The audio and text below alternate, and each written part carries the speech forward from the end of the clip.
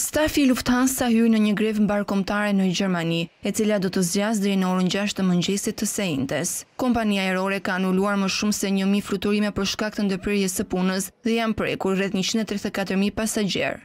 Lufthansa njoftoi se ka anuluar gjashtëqind e shtatëdhjetë e tetë fluturime në aeroportin e Frankfurt dhe treqind e dyzet e pesë në Mynih. Linja ajrore pret që të ketë ndikime edhe në aeroportet e Berlinit, Bremenit, Këlnit, Dyseldorf, Hamburgut, Hanoverit dhe Shtutgartit. Sindikata e Shërbimit Verdi ka bërë thirrje për grevë duke kërkuar paga më të larta dhe lehtësime për rreth njëzet mijë punonjës. Sindikata ankohet për kushte të vështira në aeroportet gjermane. Lufthansa e cilëson grevën të paarsyeshme. Kompania paraqiti një ofertë me rritje pagash, por sindikata e kundërshtoi, duke thënë se ishte e pamjaftueshme. Grevat dhe mungesat e stafit kanë detyruar disa linja ajrore të anulojnë mijëra fluturime dhe kanë shkaktuar radhë të gjata në aeroportet kryesore, duke zhgënjyer pushuesit, të etur për të udhëtuar pas bllokimeve të përjetuara për shkak të Covid.